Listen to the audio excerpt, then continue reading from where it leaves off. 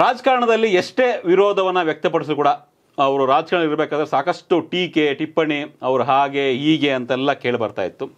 ಈಗ ಒಂದೇ ಕಾಲಕ್ಕೆ ಅವ್ರಿಗೀಗ ಅನಾರೋಗ್ಯ ಆಗಿದೆ.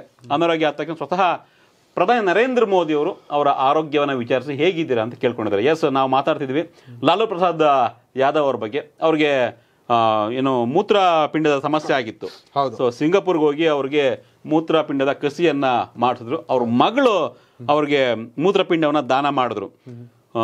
ಸಖತ್ ವಿಶೇಷವಾದ ಕೇಸ್ ಇದು. ತುಂಬಾ ಜನ ಇದ್ರ ಬಗ್ಗೆ ಮಾತನಾಡಿ ಸ್ವತಃ ಬಿಜೆಪಿ ನಾಯಕರು ಅವರ ಮಗಳ ಏನು ಈ ಮೂತ್ರಪಿಂಡ ಕೊಟ್ಟಿರೋದಕ್ಕೆ ರೋಹಿಣಿ ಆಚಾರ್ಯ ಅಂತ ಅವ್ರ ಮಗಳು ಲಾಲು ಪ್ರಸಾದ್ ಯಾದವ್ಗೆ ಮೂತ್ರಪಿಂಡವನ್ನು ಕೊಟ್ಟಿರೋದಕ್ಕೆ ಎಲ್ಲ ಬಿಜೆಪಿ ನಾಯಕರು ಟ್ವೀಟ್ ಮಾಡ್ತಾರೆ.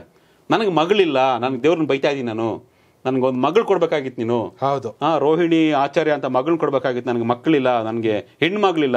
ದೇವ್ರು ನನಗೆ ಮೋಸ ಮಾಡ್ಬಿಟ್ಟ ಅಂತ ಬಿಜೆಪಿ ನಾಯಕರು ಹೇಳ್ತಾ ಇದ್ದಾರೆ. ಹೌದು. ಅಂದ್ರೆ ಮ- ಅವರ ರೋಹಿಣಿ ಆಚಾರ್ಯ ಒಂದು ಕಾರ್ಯಕ್ಕೆ ಎಲ್ಲರೂ ಕೂಡ ದೇಶದ ಮೆಚ್ಚುಗೆ ವ್ಯಕ್ತ. ಆಗ್ತದೆ ಸ್ವತಃ ಪ್ರಧಾನಿ ನರೇಂದ್ರ ಮೋದಿ ಅವರು ಇವರು ಲಾಲ್ ಪ್ರಸಾದ್ ಯಾದವ್ ಮಗನ ಜೊತೆ ತೇಜಸ್ವಿ ಯಾದವ್ ಜೊತೆ ಮಾತನಾಡಿದ್ದಾರೆ. ಮಾತಾಡಿ ಹೇಗಿದೆ ಆರೋಗ್ಯ ಅಂತ ವಿಚಾರಿಸ್ಕೊಂಡಿದ್ದಾರೆ. ಅದನ್ನ ಅವರು ಟ್ವೀಟ್ ಕೂಡ ಮಾಡಿದ್ದಾರೆ.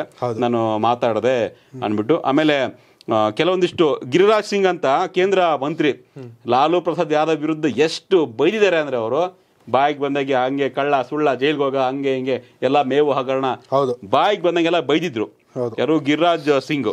ಸೊ ಅವರು ರೋಹಿಣಿ ಅವರ ಮೂತ್ರಪಿಂಡ ದಾನ ಮಾಡುವ ಮೂಲಕ ಇಡೀ ದೇಶಕ್ಕೆ ಮಾದರಿಯಾಗಿದ್ದಾರೆ. ಹೆಣ್ಮಕ್ಳು ಯಾಕೆ ಹೆಣ್ಮಕ್ಳು ನಾವು ಬೆಳೆಸಬೇಕು? ಹೆಣ್ಮಕ್ಳು ಅಂದ್ರೆ ಯಾಕೆ ಇಷ್ಟ ಅಂದ್ರೆ ಈ ಕಾರಣಕ್ಕೆ ಕೊನೆ ಕಾರಣದಲ್ಲಿ ಅಪ್ಪ ಅಮ್ಮನ್ಗೆ ಆಗೋದು ಹೆಣ್ಮಕ್ಳು ಅನ್ನೋದನ್ನ. ಬಿಜೆಪಿ ನಾಯಕರು ಪ್ರಮೋಟ್ ಮಾಡ್ತಿದ್ದಾರೆ ವೆರಿ ಗುಡ್ ತುಂಬಾ ಖುಷಿ ಆಯ್ತು ಅವರೆಲ್ಲ ನೋಡಿ. ಸೊ ಕೊನೆ ಕಾಲದಲ್ಲಿ ಅವರು ತುಂಬಾ ಅನಾರೋಗ್ಯಕ್ಕೆ ಈಡಾಗ್ಬಿಟ್ಟಿದ್ರು. ಏನು ಎಷ್ಟರ ಮಟ್ಟಿಗೆ ಅಂದ್ರೆ ಇನ್ನೂ ಉಳಿತಾರೋ ಇಲ್ವೋ ಅನ್ನೋ ತರ ಚರ್ಚೆ ಆಗ್ತಿತ್ತು. ಅಷ್ಟು ಅನಾರೋಗ್ಯಕ್ಕಾಗಿತ್ತು. ಅವ್ರನ್ನ ಸಿಂಗಾಪುರ್ ಕರ್ಕೊಂಡೋಗಿ ಅಲ್ಲಿ ಮೂತ್ರಪಿಂಡ ಕಸಿಯನ್ನ ಮಾಡಿಸಿ ಮಗಳು ಈಗ ಮೂತ್ರಪಿಂಡವನ್ನ ದಾನ ಮಾಡಿ ಉಳಿಸಿದ್ದಾರೆ.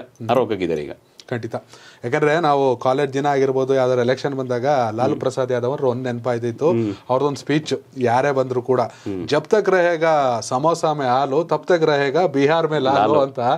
ಹಂಗೆ ಇದಕ್ಕಿದಂಗೆ ಅವರ ಈ ಒಂದು ಅಂದ್ರೆ ಮೇವಗರಣ ಅವ್ರನ್ನ ಹಾಳು ಮಾಡಾಕ್ಬಿಡ್ತು ರಾಜಕೀಯವಾಗಿ.